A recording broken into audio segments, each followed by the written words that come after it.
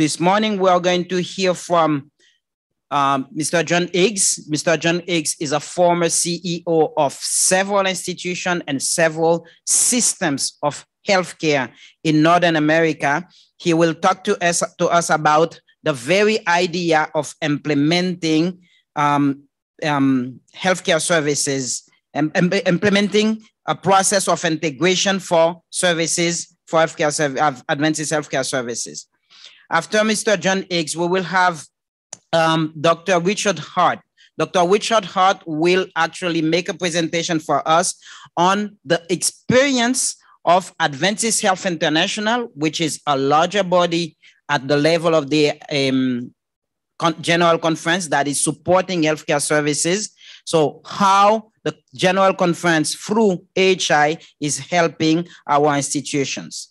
The third presentation we will have will be with Dr. Eleanor. Dr. Eleanor is the one that is, I mean, is the former president of ASHA, is one of the person that is that had been instrumental to create this body, and he will talk to us about the governance model that we have in Inter-America when it comes to healthcare institutions. After Dr. Honore, Dr. Dwight will be coming to talk to us about uh, a, a quality assurance and patient safety. And to finish, we will finish, we will end up this, this period with Dr. Braham that will talk to us about integration of our healthcare, uh, of the mission of the church in our healthcare services. Um, so thank you for that. And help me to welcome Mr. John Hicks that will share with us the first presentation, Integrated Healthcare Services in Inter-America. Good morning. Good morning for those of you that are here in Miami. Uh, fortunately, it's just a little bit cooler Miami than maybe what it's been. And uh, for those of you that are online, great to see uh, really a worldwide uh, participation. So, as Dr. Franck just mentioned, I am John Hicks. While I have been CEO of hospitals for more than 26 years, um, I was a graduate of Loma Linda University's Masters of Health Administration course a few millennia ago. And uh, while I did work for a little while with uh, Adventist Health Systems in my early career, the vast majority of my career has been in non Adventist hospitals. I spent some time in a Catholic organization, health system, and I spent some time in a very large, well integrated uh, secular system, Intermountain Health. So, we're going to talk a little bit about integrated healthcare systems and integrated healthcare services and how that might benefit us and how we might think about and participate later in this uh, symposium in giving thoughts and advice about what are future steps for us to take. To kind of begin with, um, at least in the United States, uh, integrated healthcare systems, health systems, uh, really got their bigger start about 25 years ago. Prior to that, 80 to 85% of all urban hospitals in the US were independent standalone facilities. And that has changed to now, you would be hard pressed to find very many independent, freestanding hospitals in urban areas that are not part of a large health system and is not taking advantage of some form of an integrated healthcare system. I've been in both places. For some time in my career, I ran a independent standalone hospital in the Denver Front Range, Colorado market. That's about a seven or eight million uh, people market. Um, I was one of two independent hospitals uh, for many years. Through this journey, I will talk about here in just a minute, we then merged ourselves um, because we were one of few the few independent hospitals left. Uh, we merged ourselves into and we chose a Catholic system, and I'll talk a little bit about that. And then we then then as a Catholic system, we merged into Intermountain Health. Um, we'll talk a little bit about that journey and why, um, because it, it relates back to an integrated healthcare story and a journey. So let's just talk a little bit about uh, integrated healthcare systems and health systems. And if you've talked to very many people about this, you will soon find that there is a spectrum of, of, of integration levels amongst systems. And I'm going to start uh, more on that right side, um, the integrated light side of that uh, spectrum. Um, and this is commonly referred to as holding company models. Um, these are organizations that are still separate organizations that come together with shared mission, vision, and values. Um, does that sound familiar? You just heard from Lowell, where that is in fact uh, really uh, the hospitals that we have within the IAD and ASHA are, are exactly that. And then you have an integration model that goes all the way over to what we might call a highly integrated organization or an operating model, where in fact, um, while the institution's buildings may look unique to where they're located, they operate pretty much as one organization throughout all of their locations. Think, think of it as like a, a Marriott or a Hilton. You can find those organizations all over the world. Um, they may look a little bit different, but you know that when you walk in, the registration is going to be the same. You know the look and feel is going to be like. You you know that it's going to have consistency in what to expect, and that's because they have highly integrated their operational structures throughout the entire spectrum of their locations and their operations. The IAD, the ASHA, what they are talking about doing is talking about moving us as a system of hospitals, as a collection of individual hospitals, um, which we could say we are right now in a form of integrated hospital system a little bit further along the integration scale in order to take advantage of, of uh, the economies of scale, the benefits that you can get from a larger organization. I'm going to pause with there for a moment because remember that as we just heard from Lowell, when you think about the Seventh day Adventist Church, it is a integrated faith-based church system. It's a worldwide faith-based church system now. It's highly integrated. The messages that you see and feel in the United States will be very similar with cultural overtones wherever else you go. It's already a very much of an integrated thing. However, as we also heard our hospitals operate very differently. While, while together, we operate still in a very different structure than the church does. So we can take advantage of some economies of scale, some um, pooled resources from the church. You already see that in terms of Adventist risk management. You take the property and you put it all together, and you get more advantages, lower cost. So, IAD is not looking to change your governance structure. They're not change, looking to change your, your culture. They're not looking to change your management. They are suggesting ways in which we can start using more of size to the advantage. You, you're on your markets, just like I was when I was at an independent hospital. Um, looking for ways to have more advantages in how I competed. And we already know that larger institutions, larger healthcare services, not just bring uh, more uh, cost advantages, but they help bring more specialties. So collaboration and coordination is really what's being talked about here. Not a heavy command and control type of a model, but yet trying to create better care through better systems and better processes for better community health. So the benefits of having an integrated healthcare system um, really helps to energize and synergize uh, the resources that we have in our various hospitals.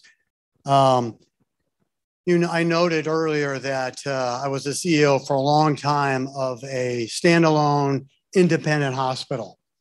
And uh, while we not only survived, we thrived really as, as an independent hospital, one of two um, in the entire front range of Colorado. And uh, we took every advantage of, of being um, quick, nimble, able to meet the needs of our local physicians, our local providers, uh, our community. We did very well at being independent. Um, but then we started to realize, I started to realize that it wasn't the goal of our institution just to be independent and just to make money. Our goal was to make a difference in our community. And as a result, what we needed to do is, uh, in order to expand that impact on our community, we needed to have what bigger institutions and health systems could bring. And that was um, the ability to uh, compete at a higher level than what our resource level would have to do. Now, we ended up joining into a Catholic system. Um, yes, you heard me. A secular hospital joined in with a Catholic, small Catholic entity. We remained uh, secular. Um, but I got to tell you, this was in my middle part of my career.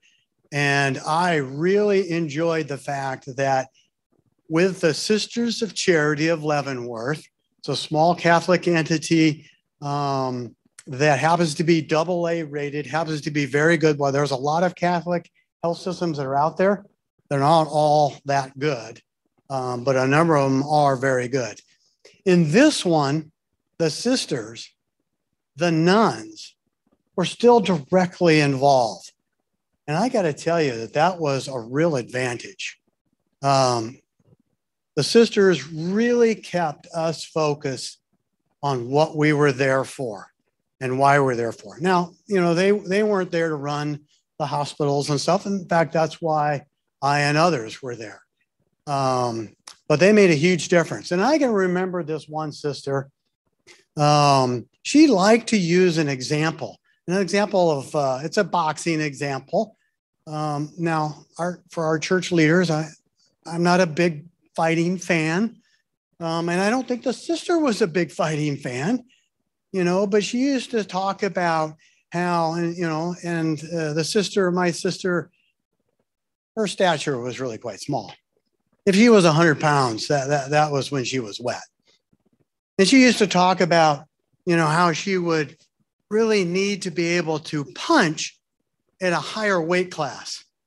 Um, because boxing as a sport is uh, divided into weight classes, everything from lightweight to heavyweight.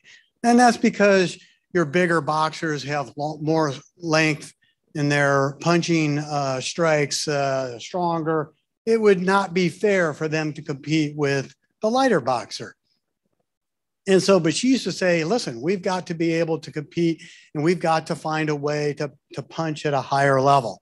All right, so I'm not going to continue to use the boxing terminology.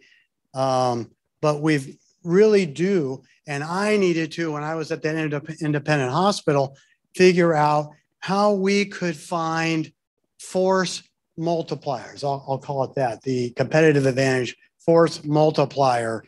Um, and in finding force multipliers, when we merged with our uh, sisters, and we started uh, going through an integration process of our healthcare services and finding ways to create and develop force multipliers.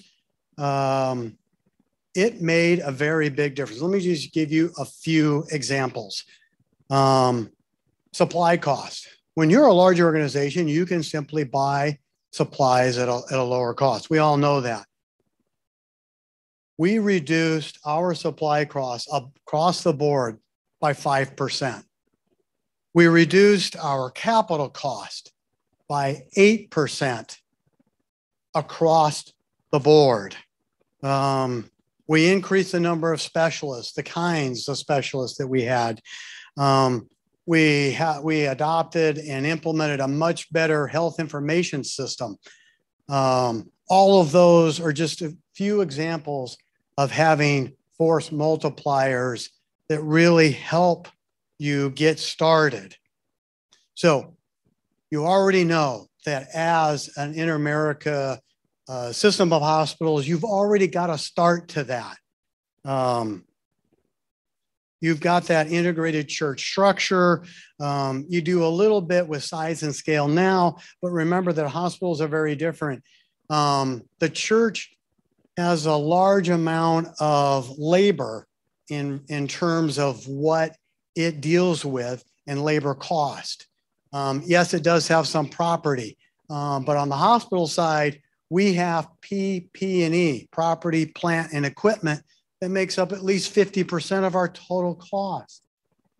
And uh, so as a result, you need different mechanisms in order to create uh, those, um, those force multipliers. When we think about uh, where the IAD is at right now and ASHA, um, what they're talking about is saying, how do we right now, as a collection of individual hospitals, go out and find and develop through collaboration and cooperation, not through command and control, the idea of taking advantage of size and scale. And you can absolutely do that uh, and do that easily.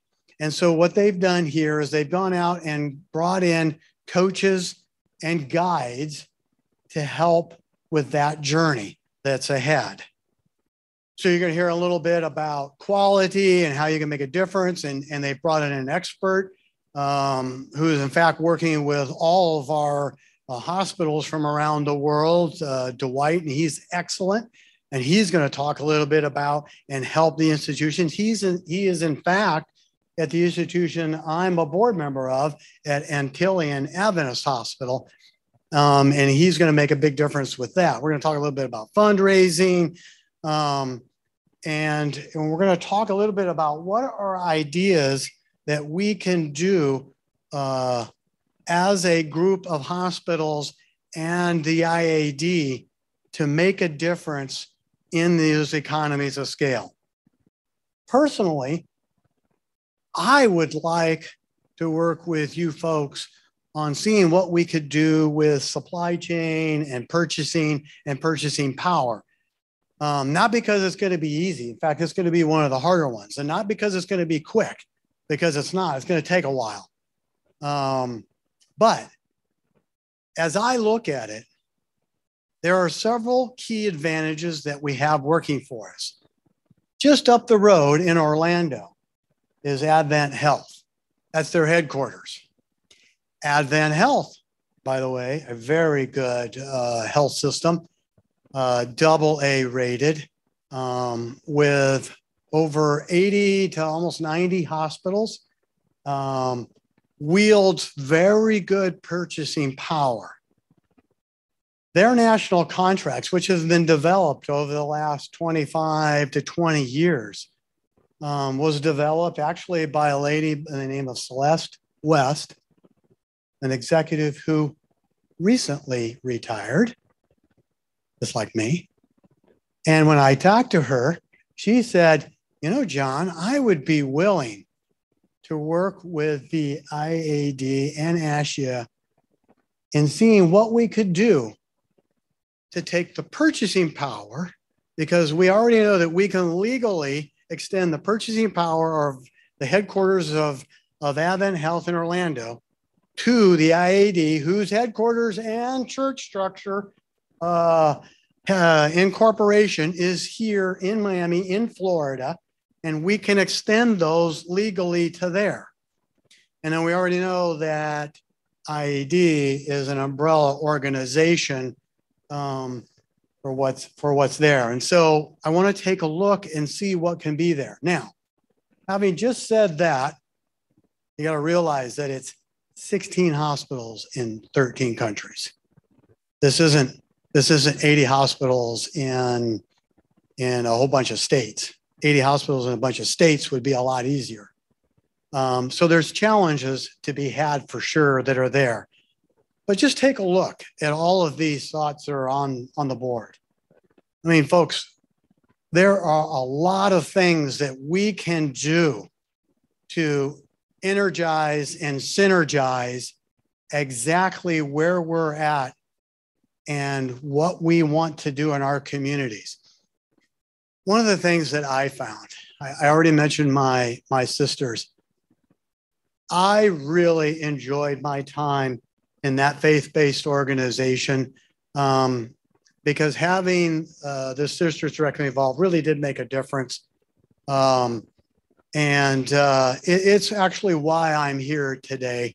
While I started early in my career in the Adventist health system in a faith based, mission based uh, approach, and then again uh, with the Catholics who, who, who adopt the healing ministry of Christ as well. Um, but there is, folks, a definite advantage to being a faith based hospital in your market. Most of the time, I was competing against you. Most of the time, I competed against my Adventist hospitals in whatever market I was in. And, and they were good organizations, and we were a good organization. But I don't know why, but not all faith based hospital organizations realize that they hold a competitive advantage in having that background. And I saw it. I, am not quite sure why they all didn't see it. Um, and yes, I went on to be in Intermountain uh, Healthcare. Um, it's like Kaiser Permanente. It's a very large um, and dominates the whole part of the middle part of the United States, uh, mountain regions. Um, it, in fact, has its own insurance company. Um, it is fully integrated. Uh, it has every cost advantage. It is, it is a fine run organization. But his leadership isn't always as focused on the mission and the output of what we're there to do. And so I'm just here to tell you that it's an advantage. It's why I said I was going to volunteer for AHI uh, when I retired, what, about a year, just over a year ago now. Um, so let's do this. Let's start thinking about how we can collaborate, communicate, and uh, and do more together to find force multipliers and make a bigger difference in the communities that we serve now. Because remember, we're here to open the door. You just heard as a mission, we're here to open the door to a message that the world needs to hear, and that is that Christ is coming back. And so, the way we do that is making a huge difference in our communities. We open that door wide, and people are going to ask, Wow, tell us more about who you are. I found as a Adventist CEO in secular, in Catholic, and other large healthcare organizations, they all knew I was a Seventh day Adventist. And they even asked me personally, tell me more about what you believe and why why are you in a Catholic organization? You know, um, at any rate, we can all make a difference. I look forward to working with you and the ideas that you come up with later in, in, in this uh, session.